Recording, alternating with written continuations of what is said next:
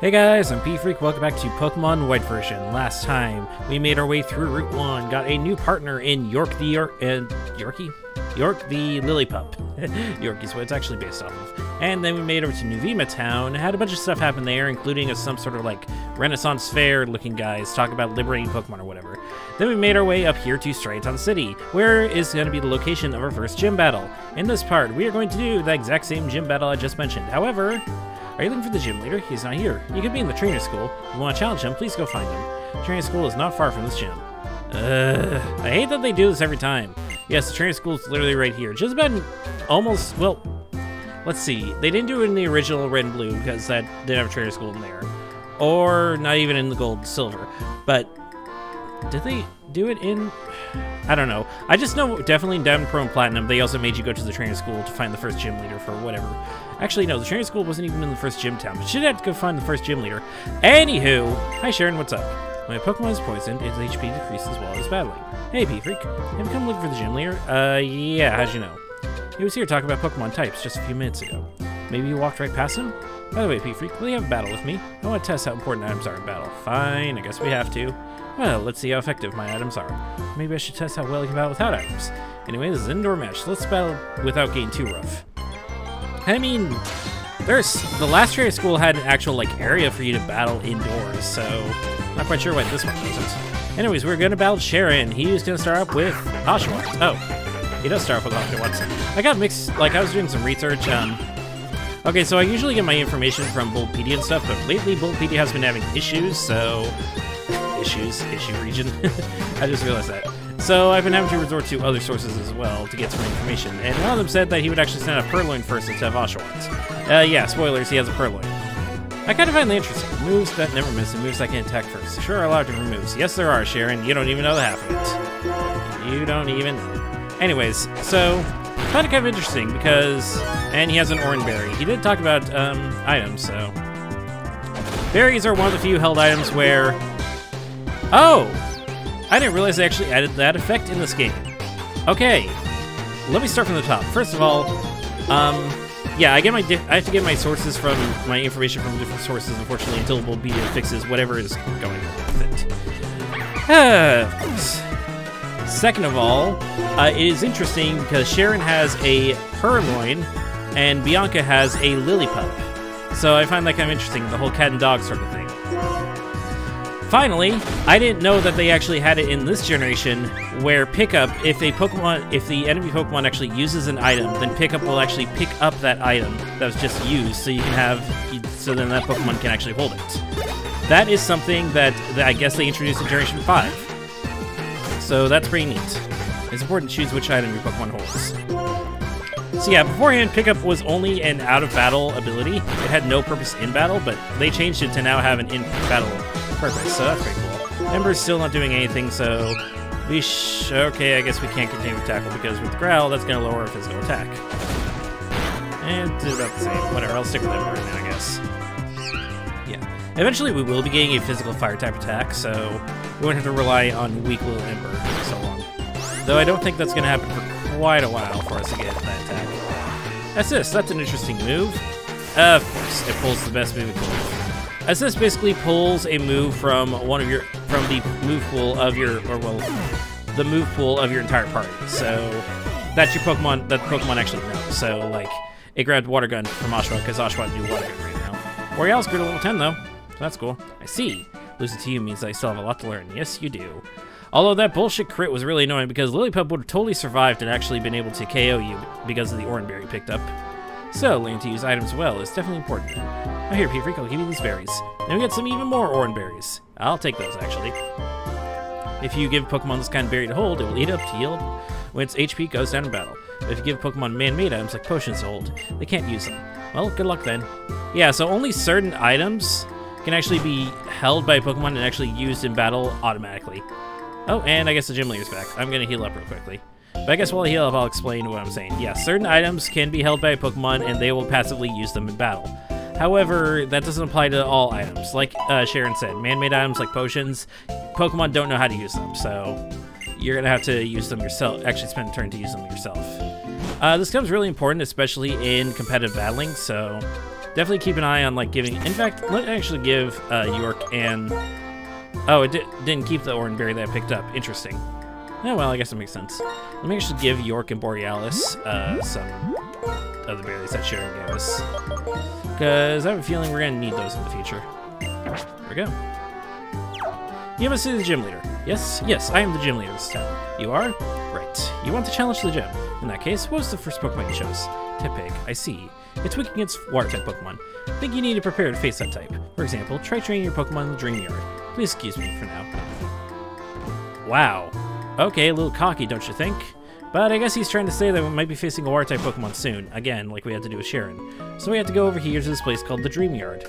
I don't think there's any way for us to avoid you. Yeah, we're gonna have to battle you. We, we are training here. Now let's train Pokemon together.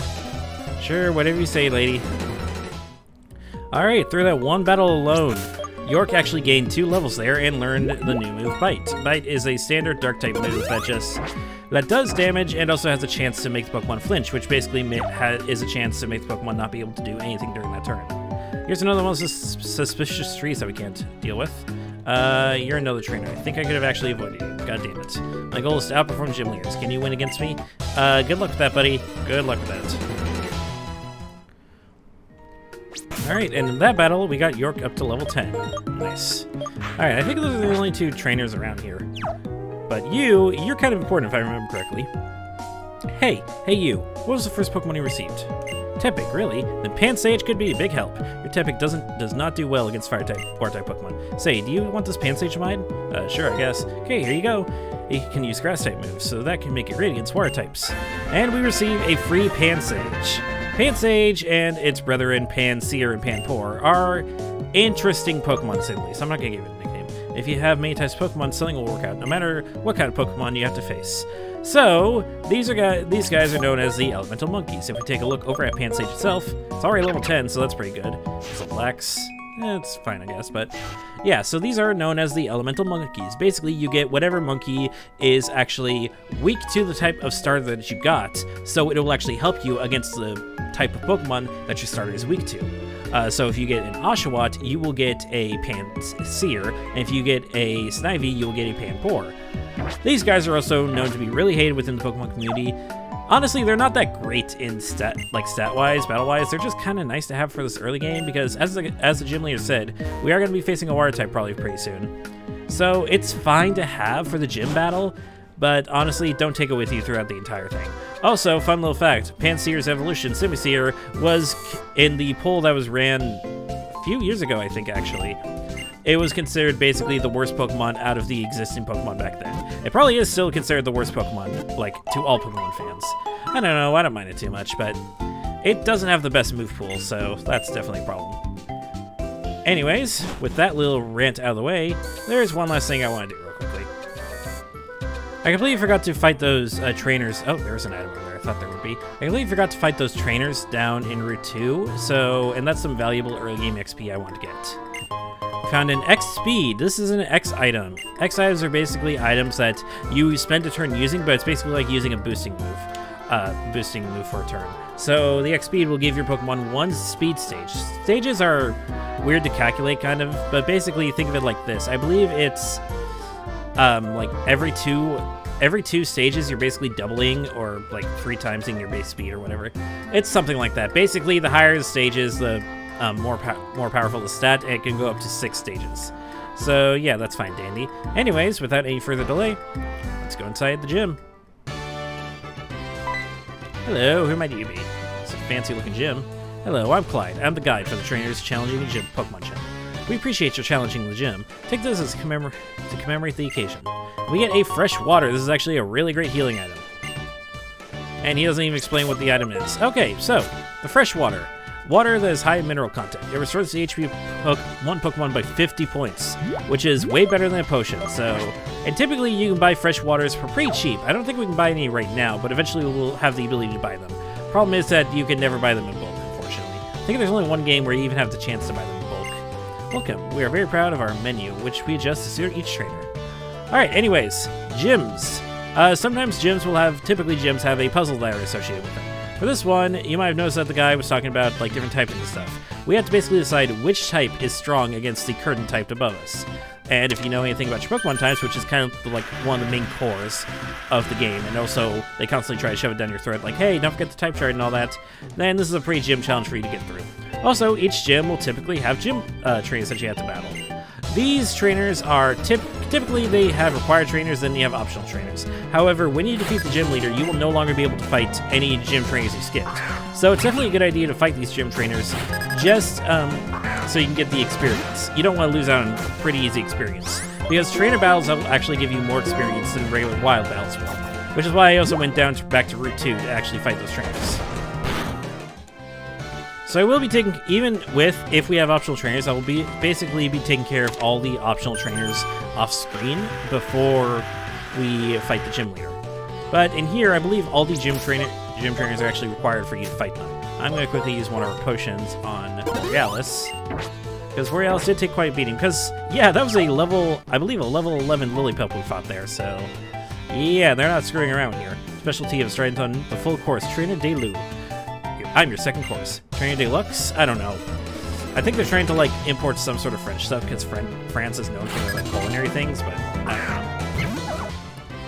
Alright, that wasn't too bad. Let's switch over to York over here. By the way, in case you're curious, I basically like to keep my Pokemon at roughly the same levels with them. I can't always do that perfectly, but it's because I used to do the thing where I would only train one Pokemon ever, and lead me to be incredibly underpowered, so uh, oh, it looks like gym. we're getting to the gym battle already. I'm going to go heal up my Pokemon real quickly. Alright, and now that we're fully healed up, I think it's time for us to take on the first gym battle. Against this weird green hair dude. Welcome to Striaton City Pokemon Gym. Oh, there's two of them. I'm Chili. I light things up with Fire-type Pokemon. And I'm Water-type Specialist. My name is Cress. Okay, so there's three of them. And their entire color motif is based off the type they specialize in. Was it like that through childhood, or did through childhood they have actually normally, normal, whatever. Pleased to make your acquaintance. My name is Cilan. I like the grass type Pokemon. Also, I believe their names are supposed to be food puns or something like that. Um, you see, as for why the three of us are um, all here, so... Oh, enough. Listen up.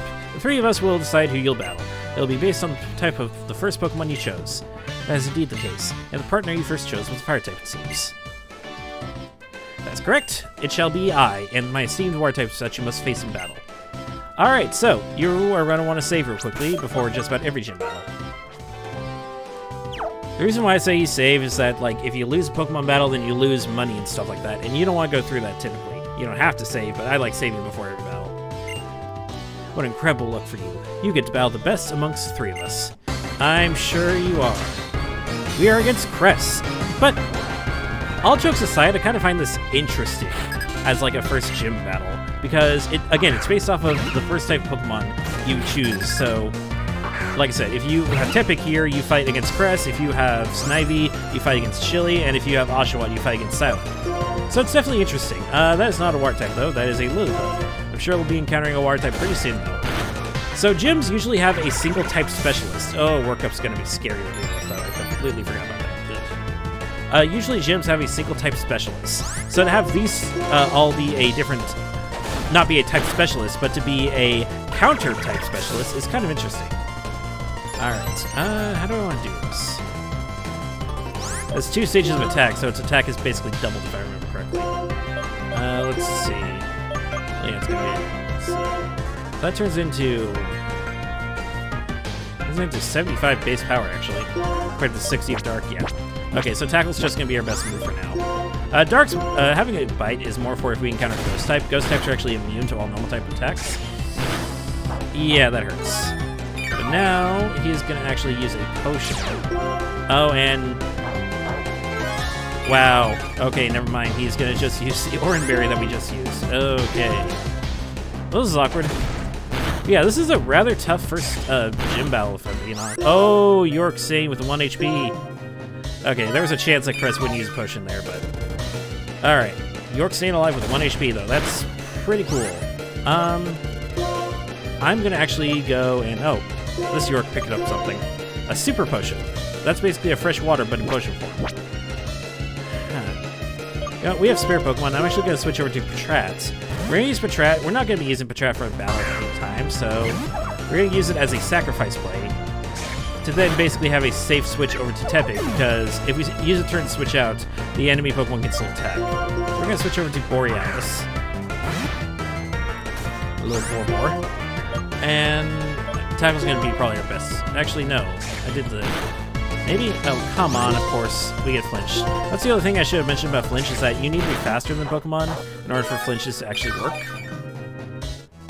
Because otherwise, it doesn't matter if they flinch. It does, it's not like the next time they flinch, they... Oh, wow. Great first battle, by the way. Having a great time with this first battle. Ugh. I'm gonna see if I can try to get a tail. Nope, I'm probably gonna... Oh! That's two Pokemon now that have survived with 1 HP. Okay, I'm gonna actually use potions now. Most people actually don't use potions during battle and like challenge runs or whatever. I'm not most people. I want to have fun. Yeah, this is a bit stressful. This is only the first Pokemon. We still have one other Pokemon to deal with, by the way, so... Also is annoying that... Of course. Uh, there's no point in me healing. This is gonna look like just me cheating or whipping out or whatever, but, um... My game crashed. so, that's fun. I guess I get to start the battle all over again.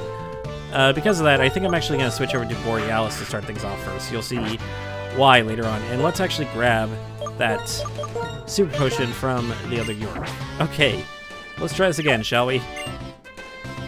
Yeah, yeah, yeah, yeah, yeah. strong so yeah, this is a pretty hard gym, first gym battle, not gonna lie. Later on, gym battles will, I guess, get easier, quote-unquote, as you get more Pokemon, but gym battles are meant to be challenging, so this is a pretty good first gym battle.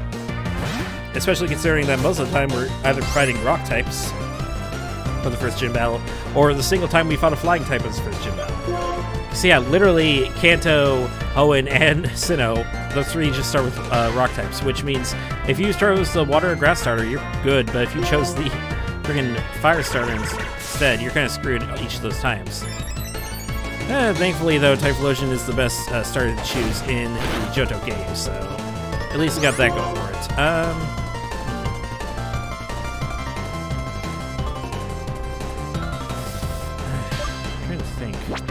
What is the number differential between... Pretty high. It's 8 whole points. I think Tackle might just still be my best bet, even if it's only 50. Okay, it only used worked up once this time. That's not too bad. Uh... I want to use the Tail Whip to see if we can actually...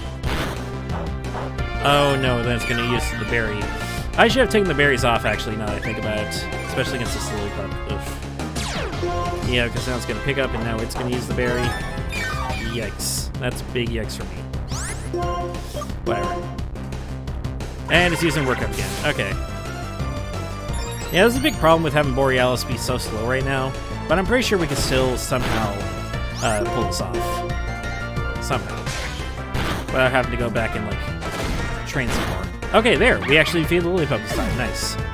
Alright. Borealis growing to level 13. Nice, nice. Defense Curl, and Defense Curl raises your defense by one, but I don't expect us to be using that very often anytime soon. I like to just use attacking moves and maybe sometimes stat lowering moves. And finally, Leader Cress sends out Panpour.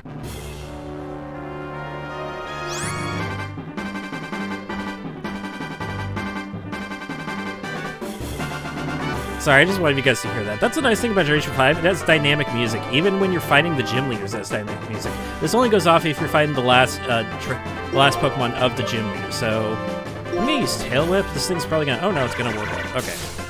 So yeah, there's no way that Borealis is gonna be surviving too much longer, so instead of trying to deal damage, we're actually gonna use Tail Whip to lower its defenses, so we have a higher chance to actually defeat it with another Pokemon even though it does give it more chances to use Workup. However, I do believe Lillipup should... Actually, that Panpour is level 14. Uh, maybe we should have done some training beforehand. Alright, hopefully he has no more, um... Yeah. Workup is such a strong move, though. It raises both the physical and special attack. So it's like, it's good for mixed attackers. It's good for just about anyone who can get it. Uh, alright. So let's send out York now. Hopefully York can be fast enough to actually a tackle off. Oh, it's gonna use another workout. Okay, we need to get this. we need York to either KO this thing, or we're gonna have to rely on Pansage. Was I? Oh, I have Pansage in back. Oh, that was a crit. Okay. Cress is gonna use potion. Gym leaders always use at least one potion. Okay. Come on. Oh no, this is my KO, Lily. My KO York. yes! Nice. Good job, York. And with that, we defeated the first gym battle finally. Yay! Nice. Not too bad, although it did take us two tries technically. But to be fair, it would have still taken us two tries even though it didn't crash. Helping Hand. Helping Hand's an interesting move, I guess. The user assists the ally by boosting the power of its attack. This is only good in double battles, a battle type we have not encountered yet.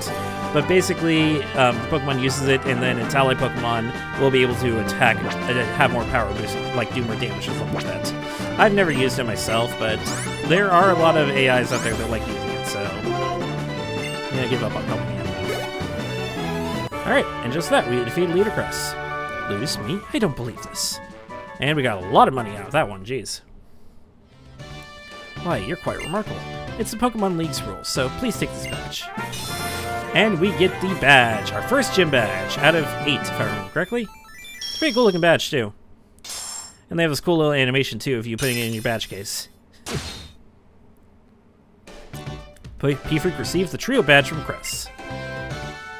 Gym badges are proof of the trainer's abilities. If you have one badge, Pokemon, including trade Pokemon up to level 20, will obey you without question. We also want you to have this. When we get TM83 Workup, the move I was talking about that is actually really good, and I will definitely be giving that to York.